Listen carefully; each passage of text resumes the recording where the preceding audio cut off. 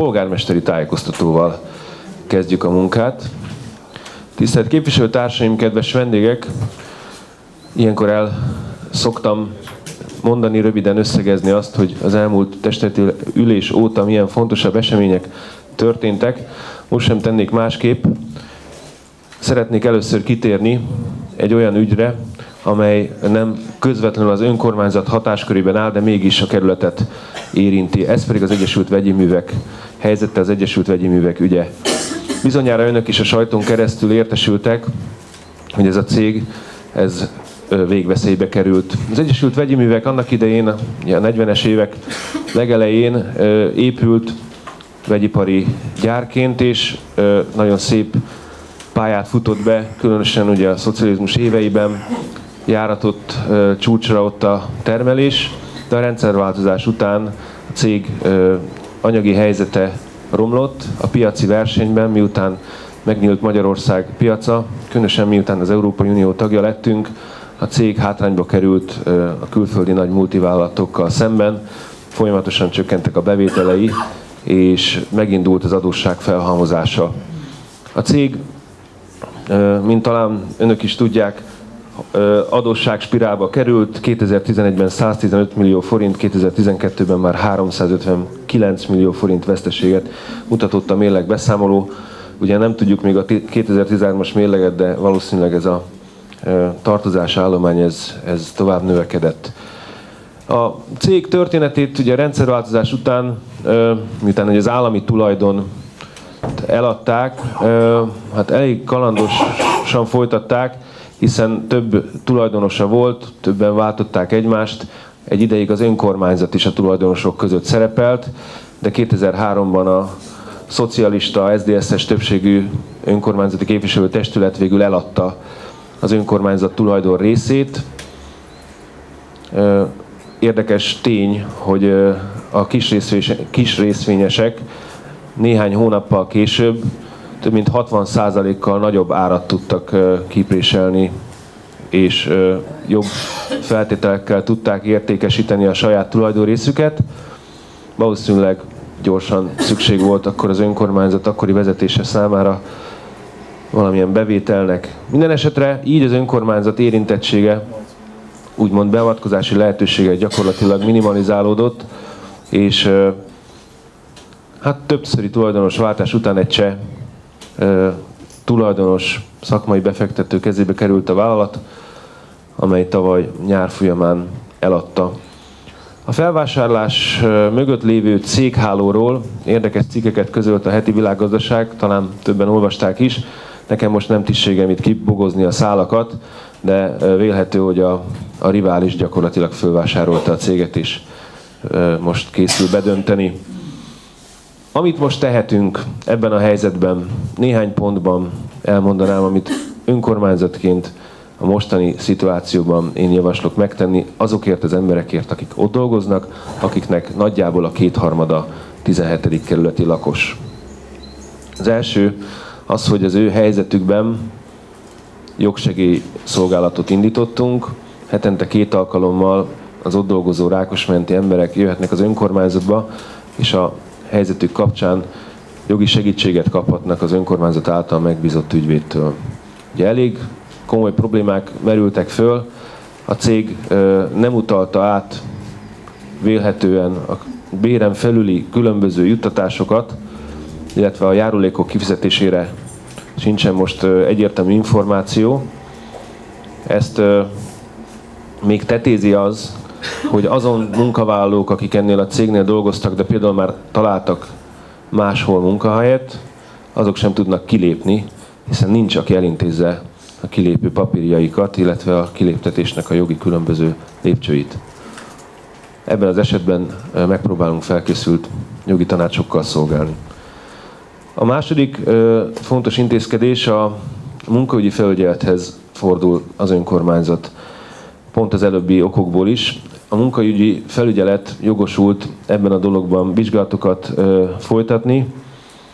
Kérni fogjuk, hogy ez az intézmény a jogszabályokhoz képest minden lehetőségével kötelezze a munkáltatót a szükséges papírok munkavállalók részére történő rendelkezésre bocsátására. A harmadik a NAV irányába, a Nemzeti Adó és Vámhivatal felé szeretnénk lépni. Egy sértett munkavállaló rendelkezésünkre bocsátotta azt a feljelentést, amit megtett a vegyipari dolgozók szakszervezete. Ez alapján most már jogosultak vagyunk eljárni, és levelet intézni a NAV irányába, hogy a feljelentésben foglaltak szerint gyors és hatékony vizsgálatot folytasson le, hogy történt-e bűncselekmény a munkavállalókkal szemben, illetve a cég kivásárlás során. A következő intézkedés, bekértem azon munkavállalóknak a listáját, akik nehéz szociális helyzetbe kerültek az elmúlt hetek történései miatt. Nekik szociális támogatást fogunk nyújtani az önkormányzat lehetőségein belül. Többen vannak, akik házaspárként dolgoztak ennél a cégnél. Az ő számukra a szociális keret, polgármesteri keretből szeretnénk egyszeri segítséggel egy, egy kicsi támogatást adni. És akkor még egy fontos dolog, akik most állásukat vesztették és nem tudnak elhelyezkedni, nekik is szeretnénk segítő kezet nyújtani.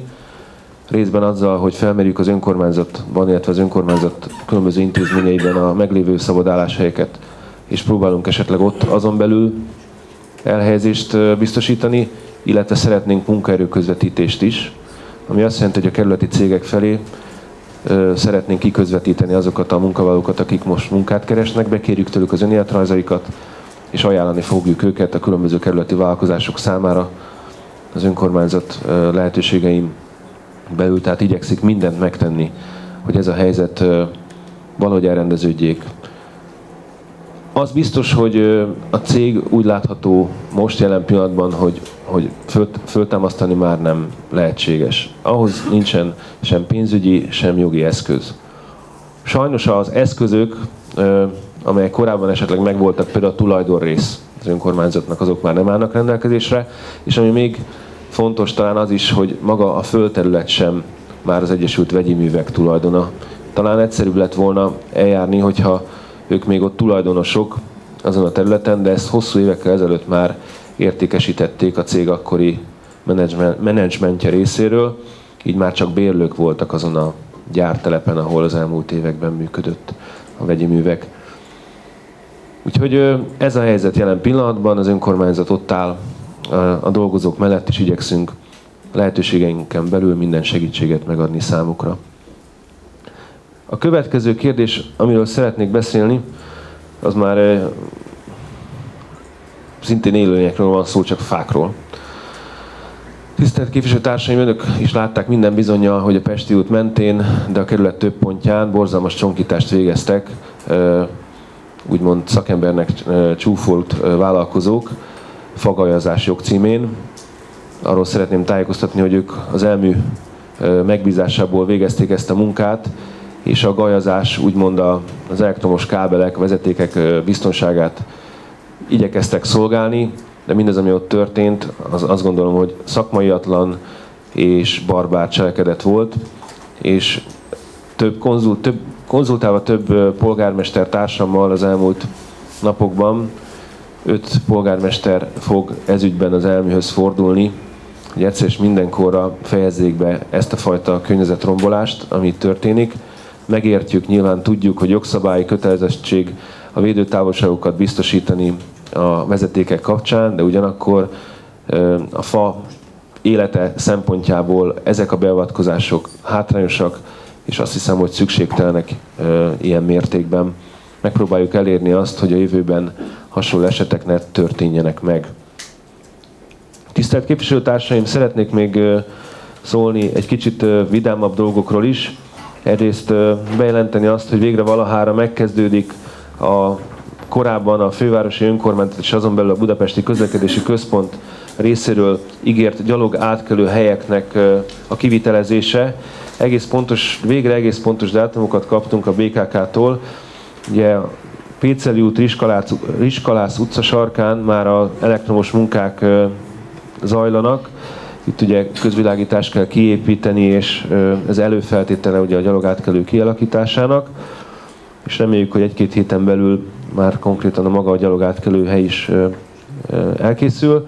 A Lőrinci út helikopter út találkozásánál február 17-e és február 28-a között szeretnék elvégezni a kivitelezést.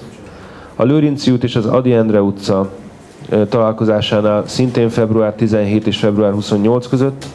A Péceli út és a Színes utca találkozásánál március 3 és március 14 között tervezik kialakítani a gyalogátkelő helyet. A Péceli út és a Battonya utca esetében szintén március 3 és március 14 között, míg a Naplás úton, a Jászívány utcánál március 16 és március 30 között fognak a kivitelezési munkák lezajlani, tehát végre valahára gyalogosok biztonságos átkelése megvalósulhat.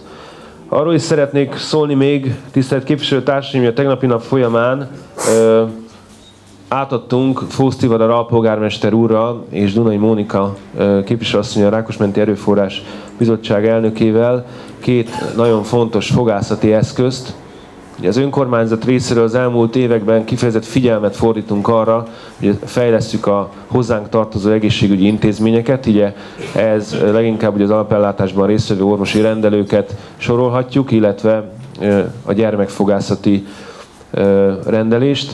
Itt vettünk, vásároltunk két teljesen új fogászati kezelő egységet, egyébként értékük körülbelül darabjának 7 millió forint, de a a Rákosmenti Egészségügyi és Szociális Központ ügyesen alkudott, és végül a kettőt összesen 10 millióból meg tudtuk venni.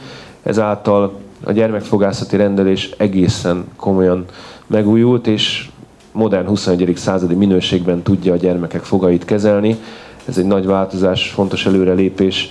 Bízunk benne, hogy a, a különböző infrastruktúrális beruházások is haladnak majd előre Rákos Csaba új telep esetében állunk most egy nagy beruházás előtt, itt már egyébként a kiviteli tervek készülnek el, ugye itt a Naplás úti gyermekorvosi rendelő kialakítása az egyik feladat, és az felnőtt orvosi rendelő átköltöztetése a Diadalút 40-be a másik feladat.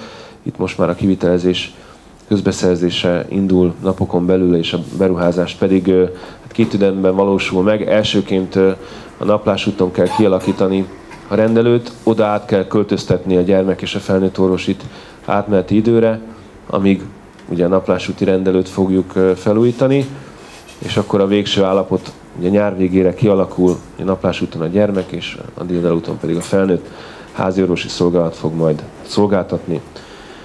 A folyamatban lévő fejlesztésekről is ez a legutolsó, amit szeretnék tájékoztatásul elmondani, tisztelt képviselőtársaim. Az elmúlt hetekben is zajlik a gólyafészek bölcsöde és a helikopterovoda bővítése. Kivitelezés ütemterv szerint halad. A következő tanévtől mind, mindkét épületben megkezdődhet a oktató-nevelő munka. A gólyafészek esetében is, és a Hétszínvirág óvoda esetében is nagyjából május az a hónap, amikor befejeződik véglegesen a kivitelezés, és ugye nyár végétől mindkét intézmény az új részlegekben fogadja a gyerekeket. A Golyafészek bölcsödében ugye 28 új bölcsödei, bölcsödei férőhely létesül, míg a Hétszínvirág óvodában pedig három új csoportszobában 66 új óvodai férőhely. Míg a folyamatban lévő projektek között megemlíteném, hogy most zajlik a Zínyi Miklós általános iskola energetikai korszerűsítése kapcsán már a közbeszerzési eljárás. Gyakorlatilag úgy számolunk, hogy június elejére már szerződést tudunk kötni a kivitelezésre, és ahogy vége van a tanévnek, ott rögtön kezdjük a munkát, hogy az iskola kezdésig megtörténjen a beruházás, hogy az oktatás ne zavarja. Még a térközpályázatról szólnék. A térközpályázatnak a műszaki tartalma, a tervek végleges formája várhatóan néhány héten belül március elejére elkészül. Ezek után támogatási szerződés következhet, az önrészt már biztosította a kerületi önkormányzat, a támogatást pedig a fővárosi önkormányzat, és itt is terveink szerint a nyár folyamán lezajlik és megvalósul a beruházás. Szeretném megköszönni mindenkinek a figyelmét.